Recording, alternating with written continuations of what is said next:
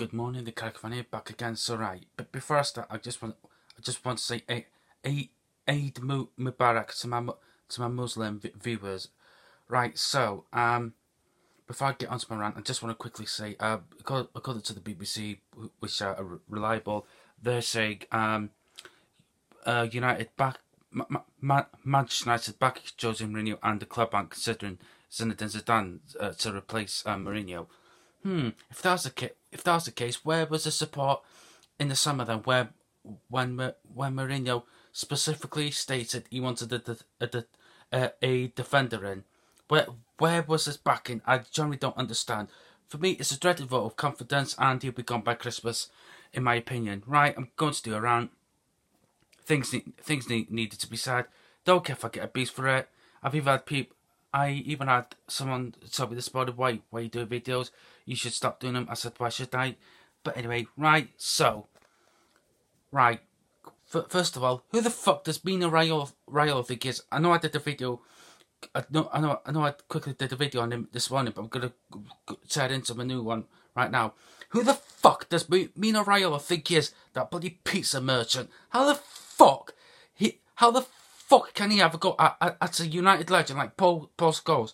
Look, I I I I disagree with a lot with a lot um, regarding what Paul Scholes uh, sometimes says, but for me, he, he was spot on about about Pogba. For me, Pogba was captain on Sunday. He should have set the example, not this.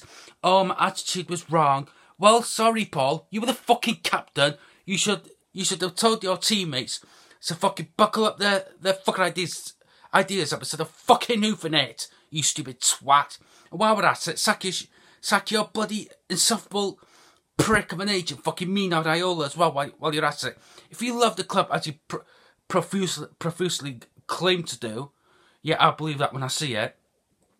You, you would do the right thing for this fucking club and sack your fucking agent, but no, you don't have to fucking keep him because you, you apparently want to join Barcelona. Well, if you want to join Barcelona, fuck off, adios, we'll get someone better in. Look, I rate Paul Pogba. He's world class. He's one of my favourite players. And I would be totally gutted that he would leave it for a second time after the first time around. But Paul Pogba has, has to do the right thing for the club, right thing for the fans, because the fans need positivity right now. And the positive thing he would do right now is to sack his agent. Fact. But he won't do it because he was probably too pussy to do it. Come on, Paul. You're supposed to be an educated player. Do an ed educated decision for fucking for fucking once, for fuck's sake. It's really annoying. I'm fed up with it, with negativity. Oh, and this pisses me off. Bloody Massa, Mata came out yesterday in his bloody blog. Oh, we must try hard. I'm, I'm paraphrasing here. Oh, we must try harder. We'll do right. We'll put things right in the next game. I'm fucking sorry. I've had this shit for the last fucking five years. You should have sorted your shit out in the fucking Brighton game on fucking Sunday. You stupid pile of twat. Look, I know Matt is prob- probably one of the nicest pe- players in, in, in football, but for fuck's sake, stop this fucking shit. Regarding uh, defeat, defeat, defeat after defeat after defeat, say, oh, we must try better. We'll do well in the next game. We'll promise to do it right next time. Fuck off! Us United fans are sick to death of hearing the same fucking shit every fucking defeat. Fucking hell. Just stop this shit for fuck's sake. Honest to fucking God. Jesus Christ, and the fucking bike. Jesus. And I swear to God, if we lose to Spurs and I hear Mata or Lingard or whoever say, oh, we'll, we'll put it right next game. Oh, we must try harder. I will flip my fucking lid. Just shut the fuck up. Don't update your blogs. Don't update, don't update your social media. Just shut the fuck up for, for the rest of the week train hard, perform hard in training, and perform hard in the games. None of this, oh, we'll try hard, we'll, we'll put it right in the next next game.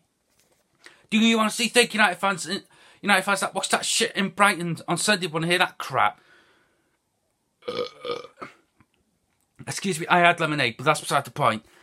My point is, like I said, do, do you think United fans, United fans that watch that crap in Brighton on Sunday want to hear that crap? No. They want to hear positivity they want to see a positive performance and a, and a United win. We're not seeing that at the minute. We see the same shit, shit after shit, after shit after shit after shit performance every fucking week. And we get players like Mata saying, wow, we'll try harder. We must do it right in the next game. We're going to be mad for the game against Spurs. Shut the fuck up. Don't talk to the fucking media and and don't talk on social media for a fucking week. That would be my fucking advice. We don't hear your fucking shitty words. They mean fuck all. Like your performance on Sunday meant fuck all. Jesus Christ, the fucking bag. Jesus. And and another thing that pisses me off in general, um, but the United, United fans celebrating the Liverpool goal because they've got uh, um, Salah, Firmino, or Mane in their fantasy, fantasy team. I could give a rat's fucking ass. Where's the rivalry? Do you honestly think a Liverpool fan would, would have De Gea, Bailly, Lindelof, uh, Pogba, Fred, Matic, Pereira in their fan, fan, fan, fantasy team? The answer would be no, they wouldn't. So why are United fans celebrating the Liverpool goal? Where's the fucking rivalry? Y- younger fa- younger United fans don't don't understand the Liverpool rivalry at all, in my opinion. A doggy with that oh appreciating good football bollocks, just piss off that shit. I've I've heard it before. It's waft. I I I've seen that shit before. Whatever. But anyway, I d- and that stat about the here. Is it facing forty shot? Is it letting forty goals from twenty one shots in? I could give a rat's ass. De Gea, De Gea is the best goalkeeper in the world. Fact.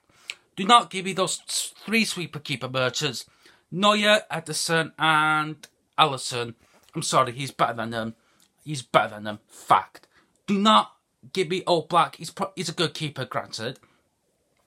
But for me, David the Goats, aka David De Gea, is the best goalkeeper in the world. Imagine thinking otherwise. So yeah, I just I need to get that off my chest to be honest because I, I, I've I've had enough of this club. I really have. Um, what was I going to say? Um, I was thinking last night I might stop doing videos after the Burnley game. Burnley game. I'm, I'm not not too sure yet. I've got a lot of things on at the minute, but uh, yeah, right. You can tweet me at Carrick United. Sub- subscribe to my channel, The Carrick Fan. Comment below, like the video. Adios.